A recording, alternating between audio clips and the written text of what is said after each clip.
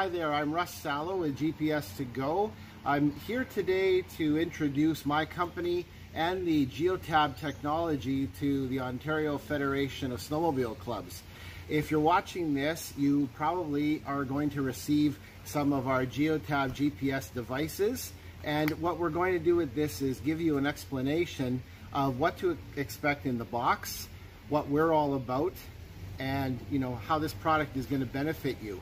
GPS to Go, we've been reselling the product for 12 years. If you've ever watched Heavy Rescue 401, those people all use the Geotab product. Geotab has over 3 million devices deployed around the world. And again, it's an Ontario company, um, something to be very, very proud of. You'll receive boxes and we're gonna show you what's inside of maybe our satellite device, maybe our cellular device, and some of our cables. So let's have a look inside and see just what you're going to expect. So when you receive your equipment, we have set it up that districts 1 through 10 will receive the Go Rugged device only. And that means that you're only getting the cellular device and not the Iridium satellite add-on. So if you're in the first 10 districts, when you receive this, you'll have your box and you'll have your groomer code that we're going to place on the outside of it. So please put the GPS device in the appropriate vehicle. So the groomer code will match up with the serial number that's on the box and also with the equipment. So as an example, this is what you'll see inside the box. This is what we call our Go Rugged cellular device. And the cellular device is ruggedized IP67 rated the serial numbers for the device are on the back and then you have your plug-and-play cables. And these cables will work with, depending on the type of vehicle you have, maybe one of our fuse kit hardwire kits, maybe one of our 9-pin Deutsch connectors. You may have a groomer where you're going to have one of our onboard diagnostic cable kits, which I'll show in a second. Inside of the box, you'll see that there are some mounting screws and you'll have your serial numbers. And I recommend what you do is take one of these off and put it inside the vehicle on the door jamb, maybe on the console, so that the next person that goes in there, they'll be able to tell exactly which GPS device is in that groomer. The cables that you may receive when you receive the cellular only device and this will be uh, universal. Every groomer in the OFSC will receive one of these cellular devices. You may receive one of these with a cable and some of you will have seen this kind of thing with big tractor trailers. So the installation will be quite lovely for those of you that have um, some of them that have a 9-pin connector already sticking out of the console. So the Case IHs, the John Deeres, things of that nature. Some of the Prinoth um, vehicles have this. So what this allows you to do is you'll dislodge the existing 9-pin of the vehicle, have it hang on its own wires, you'll dislodge it from its location. You'll attach this side with the locking collar. This one will go back out the native hole. We have some bracketry for you so that when this goes out it will be secured and the Geotab device will plug right in there.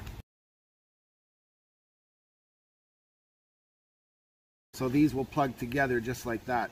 You may have one as well which may be the standard onboard diagnostic port much like you would have in a passenger car a pickup truck, a van. So inside of this, you'll have the same basic three-way T-harness as well.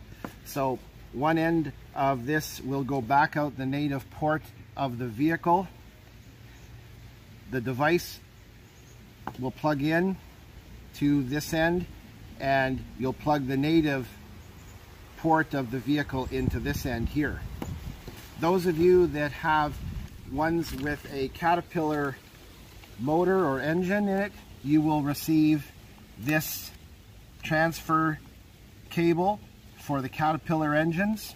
There are some of the groomers where under the seat there is a connector that looks exactly like that. Remember, don't use that one. It's already open, but it's not for us. It looks like this, but don't plug anything into it. You'll use our connector. And then some of you will have the hardwire kits.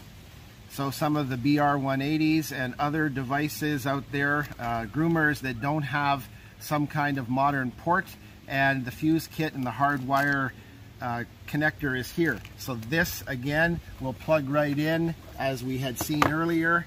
These plug together and this will give you power. This device, when you receive it, top here, there's three little dots. And those three little dots should come on when you receive power to the device. So you have a red one that tells you about power, and then you have green and blue that talk about cellular communication, right? And then being able to see the satellites. So when you have all three of those lights power up, you'll know that you're in good shape. Those of you that are in districts 11 through 17, you will receive one of our Iridium satellite units as well. So here's what the bundle may look like. This is one going up to North Bay and we've bundled this together because the satellite device and the cellular device should be paired together. And then we've put the appropriate cabling for the type of groomer. And again, the groomer code is on the outside of the bag. So you'll know exactly which one goes for which groomer. When you open this one up, inside of here, you'll have your conversion cable. This allows you to plug the Iridium satellite device into the cellular device. Inside of here you'll have your stickers with the serial numbers as well. And this is your satellite device. Now the satellite device, don't confuse the satellite antenna with the top of the Go Rugged device. They are not the same thing. The Go Rugged device requires no external antenna. It can just go in to the vehicles upside down, right side up, behind plastic, behind the firewalls of the vehicles. But the satellite device, when you affix this together, must have a clear view of the sky. So please take this and you will clean a glass surface or put it somewhere where it can have a clean view of the sky. Again, 3M tape is on there and you will attach the Iridium satellite device to our Geotab Go Rugged device with the adapter cable that every satellite device will receive. On the satellite device, there are a series of blue wires here. So what you should do is take these blue wires. These are for an emergency button that can be used in a future date. When you take these, take them, cap them off, bundle them up, and uh, leave them for later down the road. We won't be putting them in at this time.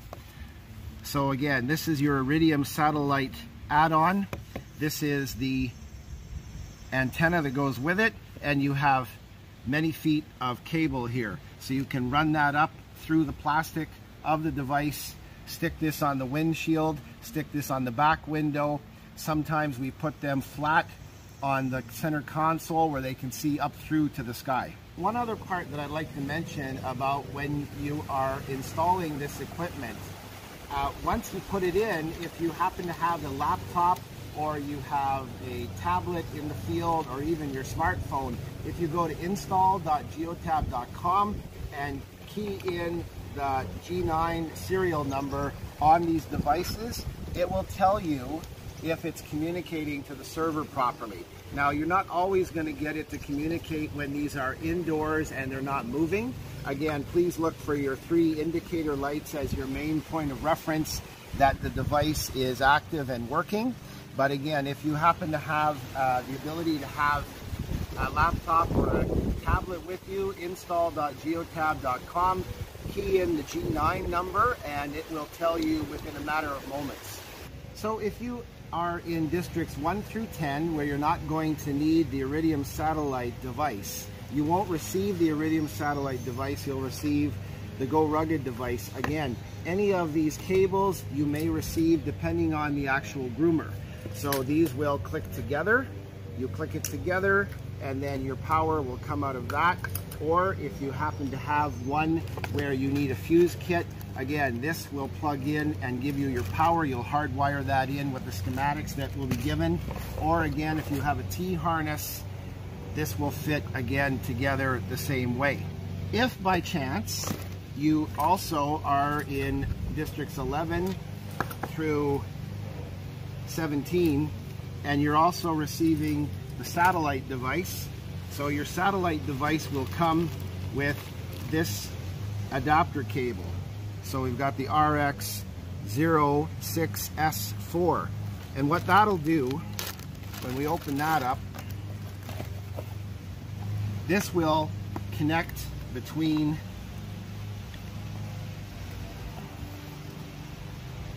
the Geotab Go device and it will plug into this mini USB adapter. So these two will go together. Now I recommend what you do at this point, put a zip tie around here good and tight. Again, here is your blue emergency wires. So bundle those up nice and tight, tie wrap them to one of the cables. Again, here is your antenna, not to be confused, of course, with the Go Rugged device. So every groomer in the OFC will receive one of these. Not every groomer will receive the satellite, only districts 11 through 17 will receive the true satellite device. And again, you've got your power cable that will power that, but connecting those together, you'll use that cable again, RX 06S4 to connect the Go Rugged cellular device with our add-on wire to the Iridium satellite device. Questions, you can reach out to us at gpstogo.ca and our phone number is on there as well.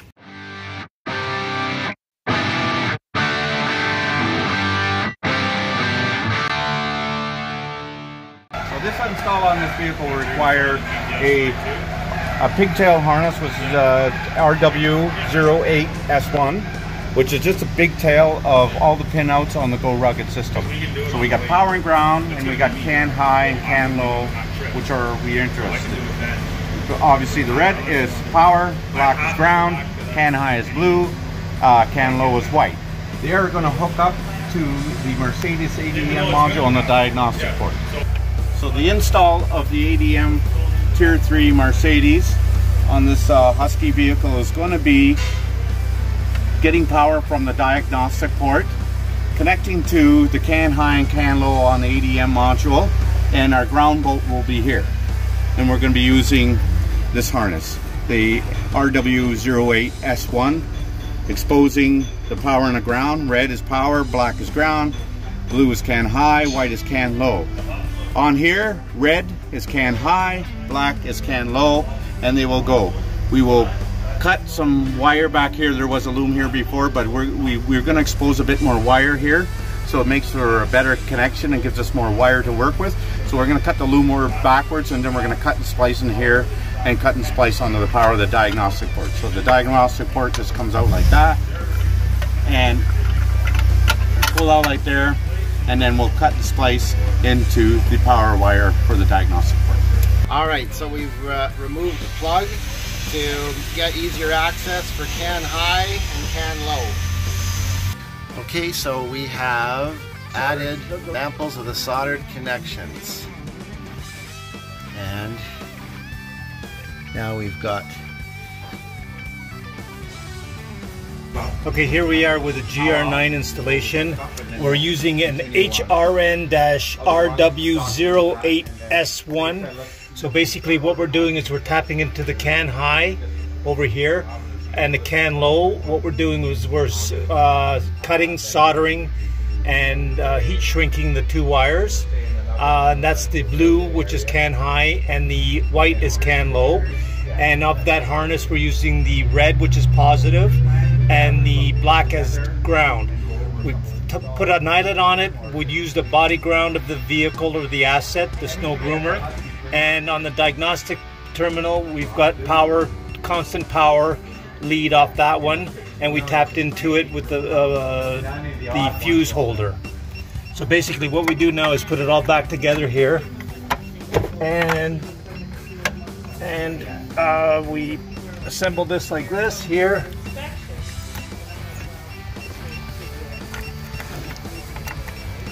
And in the background, the Geotab device is Yeah. booting up. Beautiful. And what we've done is we've run the wire here. This is a GR9 device right here. This is it. I run the wire through here, through the existing loom of the vehicle, underneath underneath the existing loom up here, ran it up here, alongside here, and then what we do is we mount it here, and we bolt it right here. Excellent. Uh, I can show you how I put the mounting screws in. What you do is when you're mounting screws into here, make sure you use the proper length screws and you're not tapping into anything uh, underneath it. You're not damaging any other harnesses. You make sure that everything is free underneath before you start putting screws in panels. So let's start there. again. So they mounted, And you can see by the impression in the foam, that's where these wires are sitting. right, you don't want to be messing into these wires. Or the heater hose. So the instruction to the viewer is be careful where you put those installation screws. Yeah, so I'm just wondering if it would be better going with two-way tape. What do you think, Powder? Screws. All right, so we've done some installation here. So when you do this device uh, in these tier three Huskies, put it under the ashtray and we're gonna use two-way tape. So you can see the device is just sitting there and it is now stuck there with the good quality 3M tape. And it's booting up. It will beep for uh, up to 10 or 15 minutes off and on as it acquires its signal. And then we of course have all of our installation that we did in the previous shot over here.